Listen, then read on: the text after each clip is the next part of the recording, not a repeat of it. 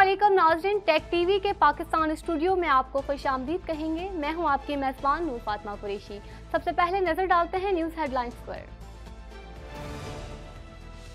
Petrol महँगा करने का फैसला मुनासिब है। अवाम एतमाद करें मुफ़्त कहते हैं यकुम था पंद्रह अगस्त दुनिया की बेहतरीन करेंसी पाकिस्तानी रुपया था। कराची में कहीं तेज और कहीं हल्की बारिश। हुकूमती अदम तवज्जही की वजह से सड़कें तालाब का मंजर पेश करने लगी। खस्ताहाल सड़कों पर चलना हुआ माहौल नकासी आप का मुनासिब बंदोबस्त न होने की वजह से बदतरीन ट्रैफ़िक जाम मामूल बन गया। हिंदुस्तान की आबी जारहियत, मुमकिन सैलाब के पेश नज़र डीसी लाहौर का दरिया रावी का दौरा। इंतज़ाम का जायजा दरिया रावी पुल के मकाम पर इस वक्त सोलह हज़ार क्यूसिक पानी चल रहा है। मुल्तान सखर मोटरवे पर बस और ऑयल टैंकर में खौफनाक तसादुम बीस मुसाफिर जहाँ बहक। हादसे के बाद जख्मी और लाशों को अस्पताल मुंतकिल कर दिया गया।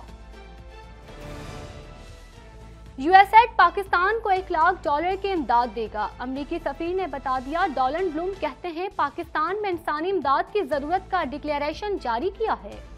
मजीद खबरें भी बुलेटिन का हिस्सा होंगी, मगर इस ब्रेक के बाद। Laundry is no longer a hassle. Just toss an EcoFresh detergent strip into the washer for a convenient, eco-friendly yet powerful wash. Hypoallergenic, safe for sensitive skin.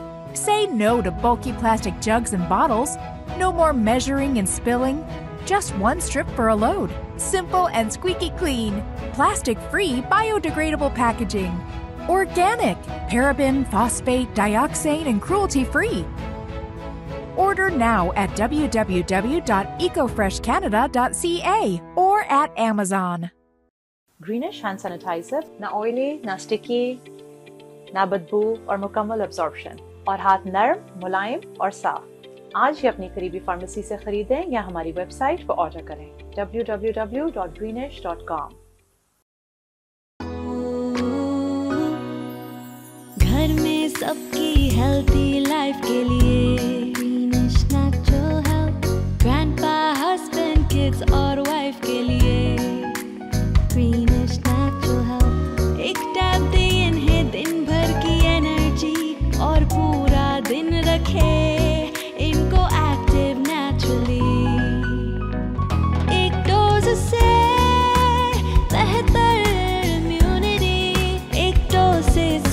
रहे all day long naturally greenish natural health healthy living for the whole family मजीद मालूमात के लिए visit करें अपनी करीबी pharmacy या हमारी website www.greenish.com headlines आपने जानी अब खबरें तफसील के साथ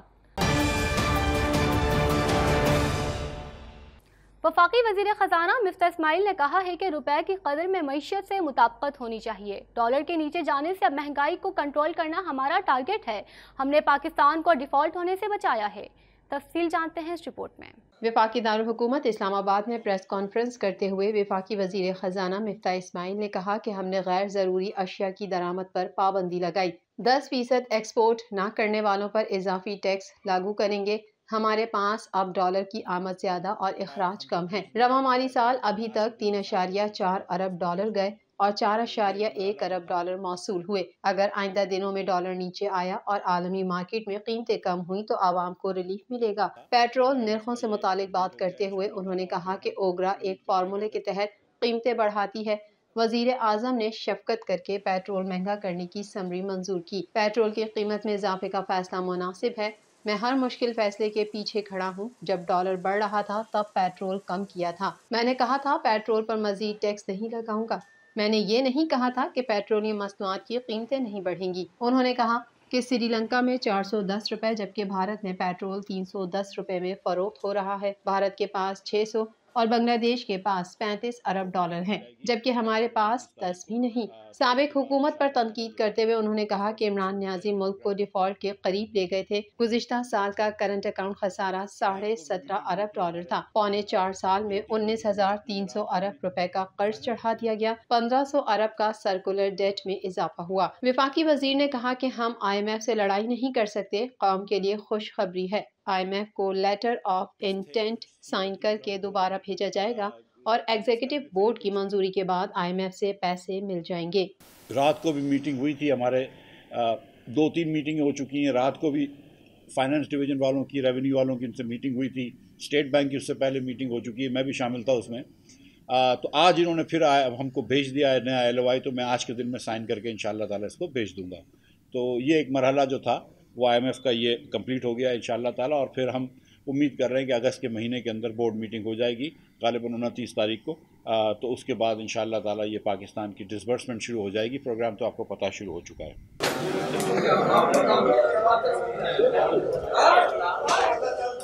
कराची में होने वाली बारिशों ने हुकूमती कारकर्दगी का भांडा फोड़ दिया। मुख्तर बारिश ने हुकूमती इंतज़ाम और दावों के किले खोल कर रख दी। जगह जगह पानी खड़े होने से मिनटों का सफ़र घंटों में तय होने लगा।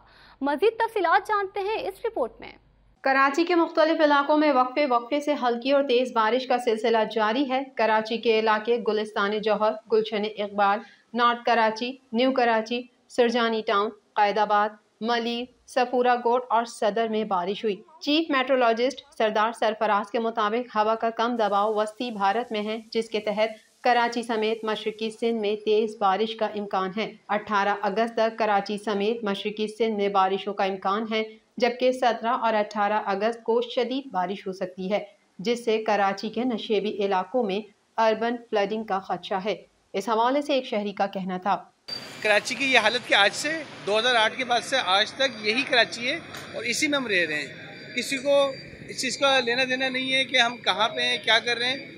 कराची का जो हाल है आपको एक गली, एक रोड बता दें जो कि प्रॉपर बना हुआ हो। बारिश के बाद की सूरत हाल से आवाम सख्त नाला है। हुकूमती अदम तोजी की वजह से सड़कों की हालत इंतहाई नागुफ्तबा है। मुख्तसर बारिश के बाद जगह जगह पानी खड़ा होने से सड़कों पर गढ़े पड़ गए हैं। जिसके बायस लोगों का पैदल चलना तक मुहाल हो गया है और गाड़ियाँ गढ़े में धंसने के वाकयात हो रहे हैं। ख्याल रहे कि चीफ मेट्रोलॉजिस्ट सरदार सरफराज ने बताया है कि बालाई सिंध में 19 अगस्त तक बारिशों का इम्कान है। डीसी लाहौर उमर शेर चट्ठा ने कहा है कि सैलाब आने की सूरत में बचाव के लिए तमाम तर ज़रूरी इकदाम किए गए हैं। ज़िले इंतज़ामिया लाहौर किसी भी हंगामी सूरत हाल से नबड आजमा रहने के लिए चौकन्ना है। मजीद जानते हैं इस रिपोर्ट में। हिंदुस्तान की जानब से आबी जहरीत का सिलसिला जारी है। भारत की जानब से ओज बैराज से एक लाख सत्तर हज़ार क्यूसिक पानी छोड़ा गया, जिसके बाद मुमकिन सैलाब के पेश नज़र इंतज़ाम का जायजा लेने के लिए डीसी लाहौर, उमर शेर चट्टा ने दरियाए रावी का दौरा किया। दरियाए रावी पुल के मकाम पर इस वक्त सोलह हज़ार क्यूसिक पानी चल रहा है। इस मौके पर डीसी लाहौर, उमर शेर चट्टा की जानब से फ्लड रिलीफ कैंप्स का जायजा भी लिया गया। डीसी लाहौर को ब्रीफिंग दी गई कि इस वक्त तक नौ फ्लड रिलीफ कैंप्स लगाए जा चुके हैं, जबकि rescue one one two two civil defence और दीगर इदारों के मुलाजमीन को अलर्ट रहने की हिदायत भी की गई हैं। मीडिया से गुफ्तु करते हुए डी सी लाहौर उमर शेर चट्ठा का कहना था कि ज़िला इंतज़ामिया लाहौर किसी भी हंगामी सूरत हाल से नबरद आजमा रहने के लिए चौकन्ना है। उनका मजीद कहना था कि सैलाब आने की सूरत में बचाव के लिए तमाम तर ज़रूरी इकदाम किए गए हैं। तर्जुमान मोटरवे पुलिस के मुताबिक बस और ऑयल टैंकर में खौफनाक तसादुम होते ही बस को आग लग गई। हादसे के फ़ौरन बाद मोटरवे M5 को ट्रैफ़िक के लिए बंद कर दिया गया। मजीद जानते हैं इस रिपोर्ट में।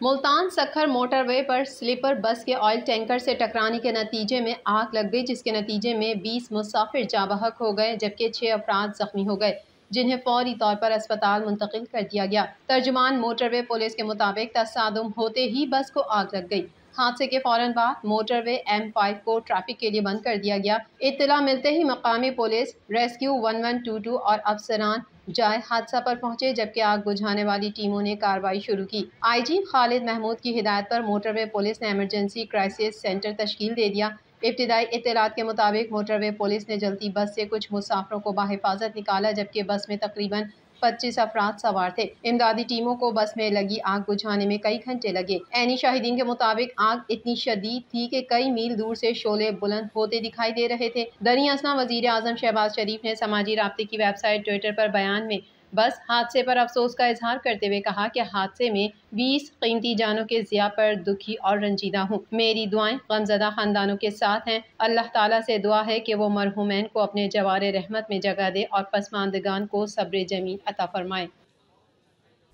पाकिस्तान में अमेरिका के नए सफीर डोनाल्ड ब्लूम का कहना है कि यूएस एड पसमानदा और मुतासर तबकात के लिए फौरी ज़रूरत की एशिया फराहम करेगा। मजीद जानते हैं इस रिपोर्ट में।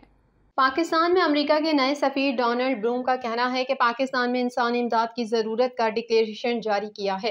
एक बयान में सफ़ीर डोनाल्ड ब्लूम ने कहा कि मेरे डिक्लेरेशन के जवाब में यू एस एड मुतासर आबादी को एक लाख डॉलर की इमदाद देगा। उन्होंने कहा कि यू एस एड पसमानदा और मुतासर तबकात के लिए फौरी ज़रूरत की अशिया फराहम करेगा। ख्याल रहे कि गुजशत माह अमरीका के नए सफ़ीर डोनाल्ड ब्लूम ने अमरीकी सिफारत खाना इस्लामाबाद में अपनी जिम्मेदारियाँ संभाली थी। अमरीकी सिफारत की जानब से जारी बयान में कहा गया था कि सफ़ीर ब्लूम पाकिस्तान में अमरीकी सिफारती मिशन की जानब से पाकिस्तान और अमरीका के लोगों के दरमियान ताल्लुक को फ़रोग देने के लिए जारी कोशिशों की क़्यादत और पाकिस्तान के मस्तकम महफूज और खुशहाल मुस्तबिल के लिए हुकूमत पाकिस्तान के साथ मिलकर काम करेंगे। टेक टीवी के पाकिस्तान स्टूडियो से फिल वक्त इतना ही। मजीद खबरें और अपडेट्स के लिए देखते रहिए tech TV. Subscribe Tag TV YouTube channel and press the notification button.